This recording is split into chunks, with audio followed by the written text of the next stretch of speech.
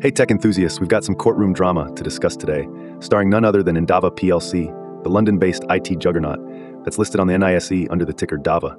So grab your popcorn as we dive into some serious legal wrangling that's underway over at Endava HQ. First up, it looks like Endava is caught in a legal whirlwind, facing a couple of beefy class action lawsuits.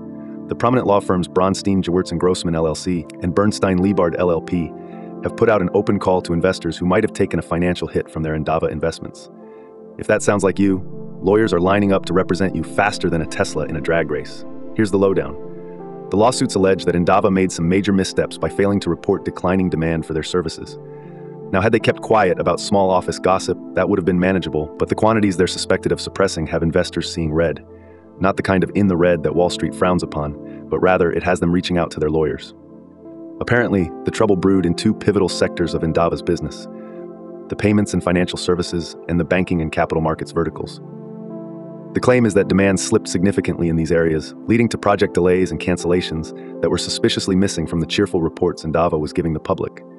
Not surprisingly, this had an adverse effect on their revenue and earnings forecasts for fiscal years 2023 and 2024. Investors who jumped on the Endava bandwagon between May 23, 2023 and February 28, 2024 may now be eligible to file as part of these class action suits. Both Bronstein, Gewirtz and Grossman, and Bernstein Liebhard have set an important date, October 25, 2024. That's the deadline for investors to scramble for those lead plaintiff positions.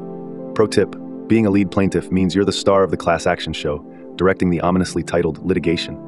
But don't fret if courtroom showbiz isn't your style.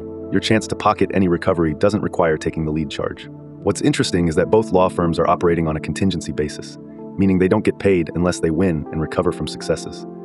Think of it as no win, no fee, but with a courtroom twist. It's almost like watching a heist movie, where if they pull off the grand jackpot, everyone gets a share, minus the legal cut. Whether you're an investor gearing up for a legal showdown or a mere spectator of this unfolding saga, it's going to be intriguing to see how things shake out for Endava and their shareholders. More at 11, stay tuned and keep those headlines refreshed.